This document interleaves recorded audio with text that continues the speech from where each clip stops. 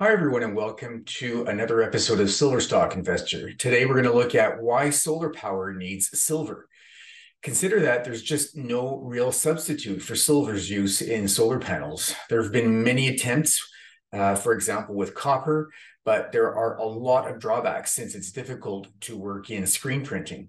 And remember, silver is the most electricity conductive metal in existence. In fact, silver sets the conductivity scale at 100 for most productive.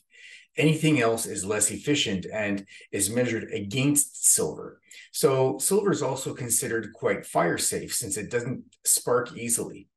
It's also lightweight and relatively inexpensive. So all of this makes silver the ideal metal to use in solar panels. Because it's so conductive, silver has helped solar efficiencies improve dramatically by using larger amounts of it. Let's look at how exactly silver works in solar panels. First, a paste is created with silver powder. Then it's applied on a silicon wafer. Once light hits the silicon, that solar radiation sets electrons free.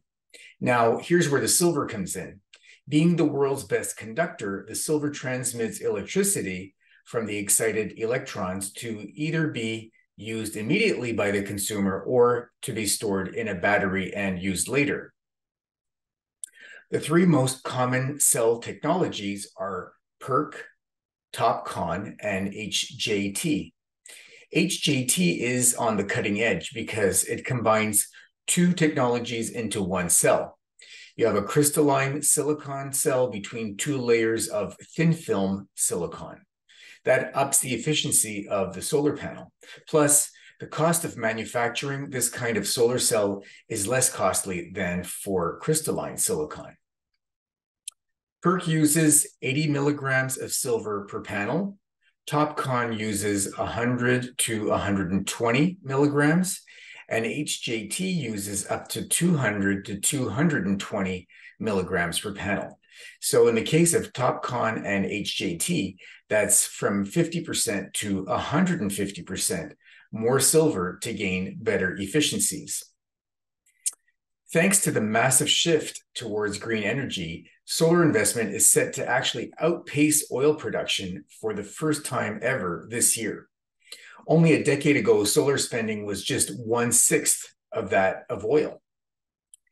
And according to the International Energy Agency, installed solar capacity is set to overtake both natural gas by 2026 and coal by 2027, becoming the largest single energy source in the world. Just three years ago, solar panels used just 100 million ounces of silver. This year, that's expected to jump to 160 million ounces. I actually think it will be closer to 180 million ounces by the time we finish 2023. And I expect that that will support much higher silver prices going forward.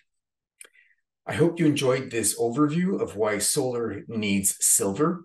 If you did, please give it a thumbs up and subscribe. You can follow my work at silverstockinvestor.com. That's where I publish the only investment newsletter focused exclusively on silver investments. I've devoted a whole chapter to silver demand, including solar, in my book, The Great Silver Bull, available on Amazon. You can follow me on Twitter at Peter underscore Krauth, and I'm also on LinkedIn at Peter Krauth. Thanks for tuning in.